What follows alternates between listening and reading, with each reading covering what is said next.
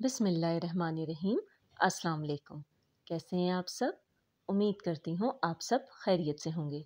तो आज जो रेसिपी मैं आपके साथ शेयर करने लगी हूँ, वो है बहुत ही मज़ेदार वॉलनट एप्पल टार्ट। ही बहुत ही सिंपल, बहुत ही आसान तरीके से मैं आज आपको टार्ट बनाना सिखाऊँगी और वो भी बग़ैर ओवन के। तो चलिए अपनी रेसिपी को शुरू करते हैं। सबसे पहले एक अदद बाउल ले लीजिए, उसके ऊपर कोई भी एक स्टेनर रखते हैं और यहाँ पर हम ले रहे हैं तीन कप मैदा। तीन कप मैदा हम डालेंगे और मैदा डाल के हम अच्छे तरीके से छान लेंगे। मैदे को ज़रूर छानना है। वैसे भी आप बेकिंग, आप जब भी कीजिए, मैदा अगर आप उसमें इस्तेमाल करें तो हमेशा मैदे को छान के ही इस्तेमाल कीजिए।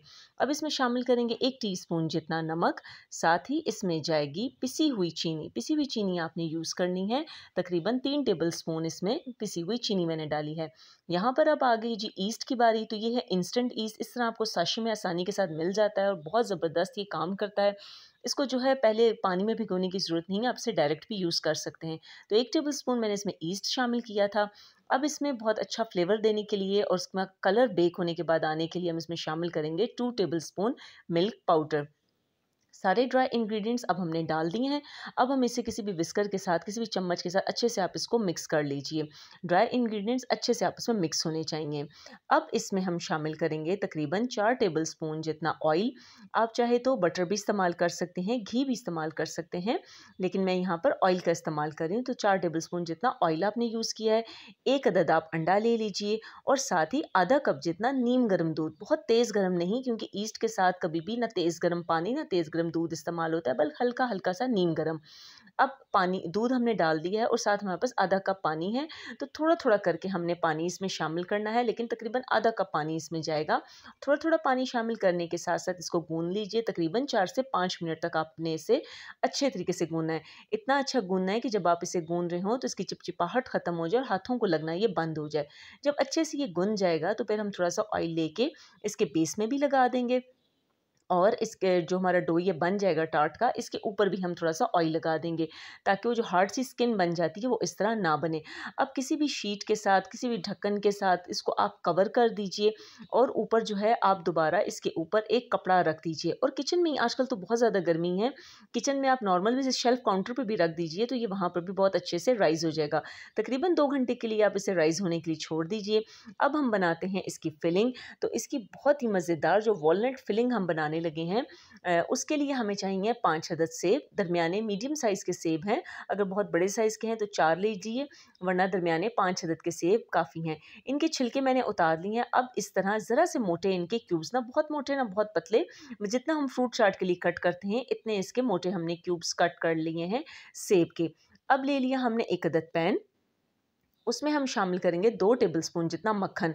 ये सारी जो हमारी फिलिंग है, medium to low low to medium flame पे बनेगी, तेज़ आँच पे नहीं बनेगी। तो मक्खन को हमने जो है मेल्ट कर लिया है।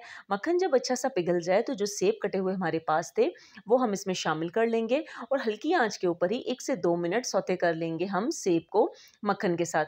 मक्खन के साथ सेब जब अच्छे से आपस में मिक्स हो जाएगा और प्यारी से खुशबू आने लग जाएगी, कलर भी देखें, इसका काफ़ी डार्क येलो सा हो गया है तो अब हम इसमें शामिल करेंगे आधा कप जितनी चीनी चीनी नॉर्मल है रेगुलर जो किचन में आम इस्तेमाल होती है, वो मैंने चीनी इस्तेमाल की है और एक चौथाई कप जितनी ब्राउन शुगर ब्राउन शुगर और चीनी डालने के साथ सिर्फ़ दो टेबल स्पून हम पानी डालेंगे ताकि चीनी हमारी पेंदी के साथ ना लगे, बल्कि अच्छा सा इसका कैरेमल बन जाए। तो दो टेबल स्पून सिर्फ़ मैंने पानी डाला है, आँच मेरी यहाँ पर हल्की है, इसे अच्छे से मिक्स कर लिया। मिक्स करने के साथ ही देखिए चीनी ने अपना पानी छोड़ना शुरू कर दिया है। तो साथ ही हम इसमें शामिल करेंगे एक टी जितनी पिसी हुई दालचीनी का पाउडर एक पिंच, मोटी पिंच जो है नमक मैंने इसमें शामिल कर लिया है। एक टीस्पून वनीला एसेंस है, वो इसमें शामिल कर दीजिए। और मेरे पास ये बड़े साइज़ का लेमन था तो मैंने हाफ़ ले लिया। अगर छोटा लेमन है तो एक फुल लेमन इसमें जाएगा। उसका जूस इसमें शामिल कर लीजिए। ये जो है लेमन डालने से ही होता है कि खटास इसमें बिल्कुल भी नहीं आती, बल्कि मीठ मिठास को बल्कि बड़ा अच्छा बैलेंस कर लेता है। तो देखिए, माशाल्लाह कैसे चीनी ने अपना पानी छोड़ा। अब यहाँ पर हम इसको कवर करके पाँच से छः मिनट के लिए हल्की आँच पर पका लेंगे। अब हम क्या करते हैं जी, एक बाउल में ले लेंगे डेढ़ टेबल स्पून जितना कॉर्नफ्लोर और दो से ढाई टेबल स्पून जितना पानी मैंने इसमें अंदाजे से शामिल किया है और अच्छा से इसको मिक्स कर लेंगे। यहाँ पर इसका अच्छा सा मिक्सचर बन गया है। अब तकरीबन छः मिनट के बाद जब मैं इसका कवर ऊपर से उठाती हूँ तो जो एप्पल है वो काफ़ी हद तक नरम हो चुके हैं और इसका कैरमल देखिए कितना ज़बरदस्त इसका कैरमल बन चुका है।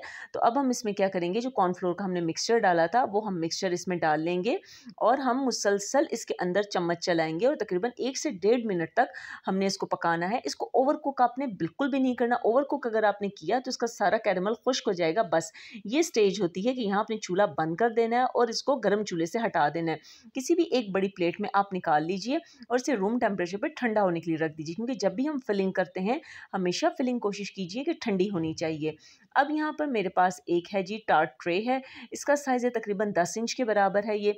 एक टेबल स्पून भर के मैंने इसमें ऑयल डाला है। इसे अच्छे तरीके से आपने ग्रीस कर लेना है। इसकी जो सारी साइड्स हैं सेंटर है, सबको आपने अच्छे से ऑयल से ग्रीस कर लिया। इसके बाद थोड़ा सा मैदा हाथ में ले लीजिए। उससे इसको छड़क दीजिए मैदे को और अच्छे से इसको डस्ट कर लीजिए। अब यहाँ पर जो हमारा डो हमने बनाया था इसका बेस बनाने के लिए, वो काफ़ी अच्छा राइज़ हो चुका है। अब इसको हम क्या करेंगे? तकरीबन एक से दो मिनट के लिए दोबारा अच्छा सा नीट करेंगे। तो देखिए, माशाल्लाह, कितना ज़बरदस्त और सॉफ्ट हमारा डो बन के यहाँ पर इसका बेस तैयार हो चुका है। एक से दो मिनट इसको गूंदने के बाद अब हम इसे काउंटर पर थोड़ा सा खुशका डाल के निकाल लेंगे। एटी परसेंट हम अलग कर देंगे और ट्वेंटी परसेंट हम इसका इतना रेशो रखना है। एटी ट्वेंटी करके आप इसकी कट कीजिए और जो बड़ा हिस्सा है, उसको हम पहले बेल लेंगे। जो छोटा हिस्सा था, उसको इसको ढांप के हम साइड पे रख देंगे, क्योंकि अगर हमने इसको ढांपा नहीं तो क्रैक्स बनने का भी ख़तरा होता है। अच्छा जी, अब हम इसको दोबारा से जो है इसको बेलेंगे। बड़ा जो हमारे पास हिस्सा था, जो पेड़ा आया था, इसको मैं तकरीबन इतना बेलना है जितनी हमारे पास दस इंच की टार्ट ट्रे है। थोड़ा थोड़ा हल्का हल्का सा खुशका लगा लगा के आप आराम से एहतियात के साथ इसको बेलते जाइए। अब आराम से आपने इसको उठाना है और जो हमारी टार्ट ट्रे है, उसके अंदर आपने इसको फैला लेना है। आराम से हाथों के साथ इसको आप सेट करते जाइए। बिल्कुल भी ये नहीं टूटता। टूटने का तो सवाल ही नहीं होता। बस ये कि थोड़ी सी एहतियात कीजिए, बेकिंग, कुकिंग में जल्दबाजी अगर ना हो तो चीज़ बहुत अच्छी बन जाती है सब्र के साथ। तो इसीलिए बहुत एहतियात के साथ तकरीबन एक मिनट तक मैं इसकी साइड्स को इस तरीके से सेट करती रही हूँ, सेंटर को भी। इसके बाद एक फॉक ले लीजिए आप, उससे इस सारे इसको, बेस को प्रिक कर लीजिए। प्रिक करने से ये क्या होता है कि ये बड़ा बैलेंस बेक होता है। वरना अगर हम प्रिक ना करें तो जगह जगह से इसके उभार जो है ना, वो बेक हो जाते हैं और वो खूबसूरती नहीं रहती। अब अच्छे से इसको प्रिक करने के बाद हम क्या करेंगे? तकरीबन एक टेबल स्पून जितना मेल्टेड बटर है यहाँ पर मेरे पास तो ब्रश में बटर को लगा के इसकी बेस पे हम बटर लगा देंगे। इससे क्या होगा कि हमारी बेस बहुत ज़्यादा सख्त नहीं हो पाएगी और बल्कि इसकी खुशबू बहुत प्यारी आएगी। जब हम इसको खाएँगे तो इसमें माशाल्लाह खुशबू का बहुत ज़्यादा इजाफा हो जाएगा। अब क्या हमने किया था? जो ट्वेंटी परसेंट हमने अलग किया था, अब हम थोड़ा सा डिफरेंट टार्ट रेसिपी बना रहे हैं। उम्मीद करती हूँ कि आपको बहुत पसंद आएगी। रेसिपी को आप एंड तक देखिएगा। बहुत यूनिक रेसिपी है और बहुत ही आसान और सिंपल तरीक़ों से हमने बनाई है। थोड़ा सा हमने जो हमारा डो का हिस्सा था, वो हमने ले लिया और उसको बारीक बारीक इस तरह लंबाई की शेप में कर लिया। अब हम क्या करेंगे? इसे जो कि हमारी ये ट्रे थी, इसके साइड्स पर इस तरीके से एक फ्लावर बना देंगे।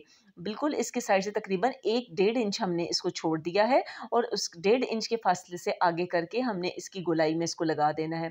अब इसी तरह दोबारा जैसे हमने वो लगाया था इसका सेंटर फ्लावर बनाने के लिए, अब इसको दोबारा जो है हम इसके दरमियान में एक और इसी तरीके से इसका फ्लावर बनाने की कोशिश करेंगे और फिर एक इंच का हमने डेढ़ इंच का फासला छोड़ा है।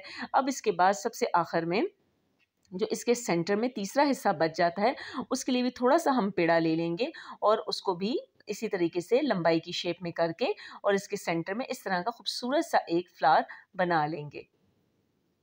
तो देखिए, माशाल्लाह, किस कदर खूबसूरत और यूनिक टार्ट हमारा बन के तैयार होने लगा है।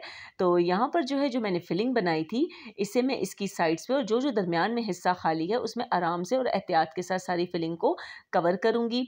बहुत मज़ेदार ये टार्ट बन के तैयार हुआ और सबसे बढ़कर ये देखने में भी बहुत खूबसूरत लग रहा था, बहुत यूनिक स्टाइल का था। तो इसे इसी तरह इसके कैरमल के साथ जो हमारे एप्पल्स थे, इसको आप इस तरीके से इसके दरमियान में जितनी फ्लावर्स वाली जो जगह बची हुई है, इसके अंदर आप सारों को डालते जाइए। एहतियात से डालना है।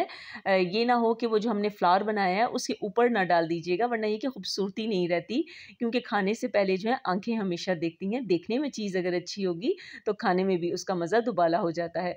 तो यहाँ पर जो है मेरे पास वॉलनट्स थे, तकरीबन पाँच से छः वॉलनट्स थे, जिसे मैंने तोड़ लिया और छोटे छोटे इनके पीसेस क्रश कर लिए। बहुत बारीक इनको मैंने नहीं किया मोटे मोटा ही इनको मैंने क्रश कर लिया। अब जो हमने फिलिंग बनाई थी, इसके ऊपर हम एप्पल के ऊपर अपने जो वॉलनट्स हैं, उनको बिछा देंगे, डाल डाल देंगे। तो यहाँ पर हमारा खूबसूरत सा वॉलट एप्पल टार्ट जो है बन तैयार हो चुका है। अब बारी है इसको बेक करने की। तो एक पतीला था, उसको मैंने चूल्हे के ऊपर हल्की आँच पे 10 मिनट के लिए गर्म होने के लिए रख दिया। अब ये गर्म हो चुका है। कोई भी स्टैंड ले लीजिए, कोई भी कटोरी ले लीजिए स्टील की। मेरे पास कटोरी थी, मैंने वो रख दी है। अब इसके ऊपर आराम से जो है ये टार्ट की ट्रे थी, ये मैंने रख दी है। अब इसके ऊपर ढक्कन रख देंगे, जो इसमें एक साइड में होल होता है, उसके ऊपर मैंने माचिस की तीली लगा दी कि बिल्कुल इसके अंदर से एयर बाहर ना आए। पैंतीस मिनट के लिए हमने इसे बेक किया। अगर आप ओवन में करेंगे तो तकरीबन ये पच्चीस मिनट लेगा। बस आप इस तरीके से कोई छुरी या नुकदार चीज़ डाल के देखिएगा, अगर वो बिल्कुल साफ़ निकले, इसका मतलब है कि हमारा टार्ट जो है अंदर तक बेक हो चुका है। खूबसूरती और कलर देने के लिए आप इसे पाँच मिनट और भी ज़्यादा बेक कर सकते हैं इसी तरह पतीले में। तो देखिए, बेकिंग बहुत आसान है। बस ये है कि आपका शौक़ होना चाहिए और कोई भी चीज़ मुश्किल नहीं है बनानी। हर चीज़ ये घर में मौजूद होती है।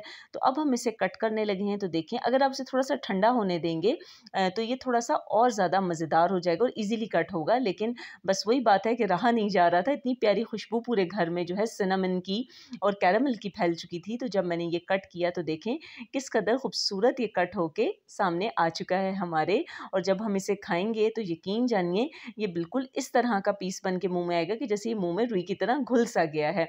और यही अगर आप टार्ट बाज़ार से लें तो आपको घर में जितनी कॉस्ट में हमने बनाया है, बाज़ार में आपको तीन से चार गुना जो है ये महँगा मिलेगा। तो कोशिश कीजिए कि घर में बेकिंग कीजिए, घर में कुकिंग कीजिए, बेस भी देखें इसका कितना अच्छा बेक हो चुका है। तो उम्मीद करती हूँ आपको मेरी हमेशा की तरह आज की रेसिपी बहुत पसंद आई होगी।